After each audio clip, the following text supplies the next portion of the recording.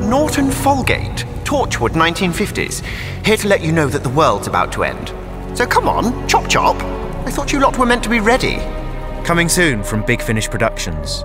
Torchwood, God Among Us Volume 2. I've met Norton before. And Yvonne?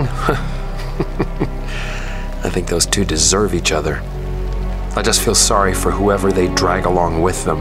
I had to do terrible things at first to stop you from finding this world. But find it I did. I know what'll happen next. What you do to worlds. Attention. You have been reported as homeless. Oblation offers you a choice. Take part in a clinical trial.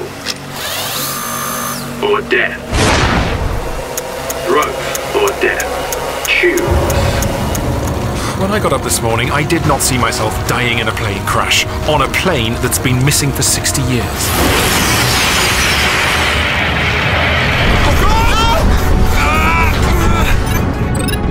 Oh god!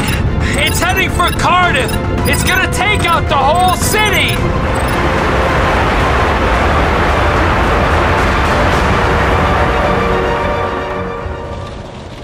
With a hey, a ho, the wind and the rain, and the rain it raineth every day.